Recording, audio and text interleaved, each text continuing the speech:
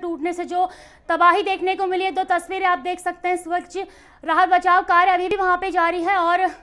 दूसरी तरफ़ आप देख सकते हैं किस तरीके से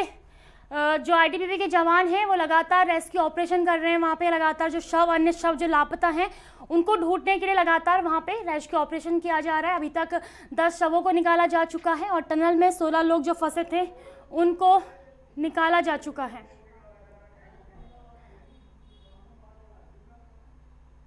दो तस्वीरें आप देख सकते हैं किस तरीके से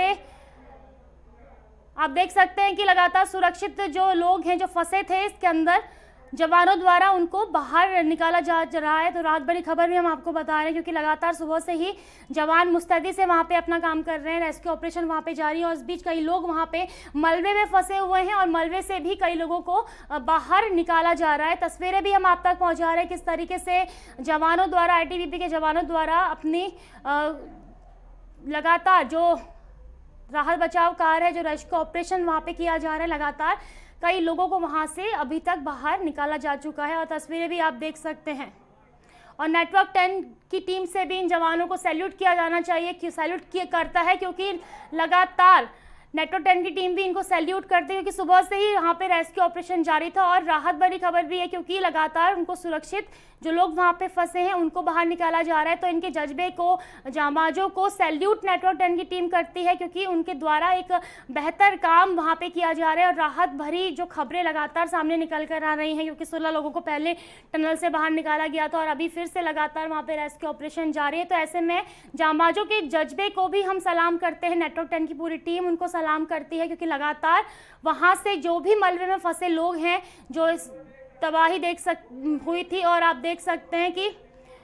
तस्वीरों में आप देख सकते हैं किस तरीके से जवान जवान जो हैं, वो जो मलबे में फंसे लोग हैं, उनको बाहर निकाल रहे हैं। तो काफ़ी राहत भरी खबर है और उनको सैल्यूट हम करते हैं। उनके जज्बे को हम सैल्यूट करते हैं क्योंकि कई लोग अभी भी मलबे में फंसे हुए हैं, कई लोग अभी भी लापता हैं, ऐसे में उनके द्वारा जो तस्वीर आप देख सकते हैं, जो बाहर उनको सुरक्षित निकाला जा रहा है तो ये काफ़ी काबिल तारीफ़ तस्वीर निकल कर सामने आ रही है और सलाम हम उनके जज्बे को करते हैं क्योंकि लगातार सुबह से ही वहाँ पर मुस्तैदी से जवान लगातार अपने रेस्क्यू ऑपरेशन को जारी रख रहे हैं और अभी भी जो तस्वीरें निकल कर सामने आ रही है, उसमें लगातार जो भी लोग मलबे में फंसे हुए हैं, उनको लगातार बाहर निकालने का काम सुरक्षित किया जा रहा है।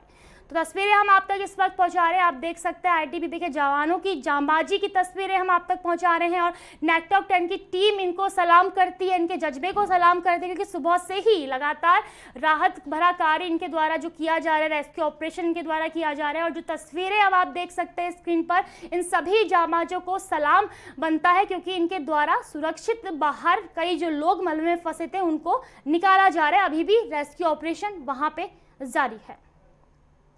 तो तस्वीरें आप तक हम पहुँचा रहे हैं। देख सकते हैं किस तरीके से मलबे में जो फंसा एक युवक है, उसको जामबाजों द्वारा बाहर निकाला जा रहा है और सुरक्षित बाहर निकाला जा रहा है।